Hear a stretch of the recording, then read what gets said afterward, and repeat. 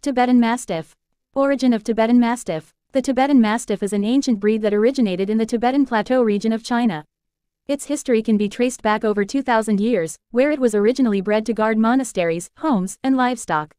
The breed was also used as a watchdog and to protect against predators such as wolves, leopards, and bears.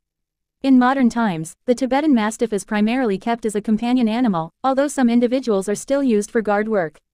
The breed is highly prized for its large size, strength, and protective instincts. They are intelligent, independent dogs that require a strong and consistent leader. Tibetan Mastiffs are known for their loyalty and attachment to their family, and are generally good with children. They are independent and can be aloof with strangers, but are not typically aggressive unless provoked.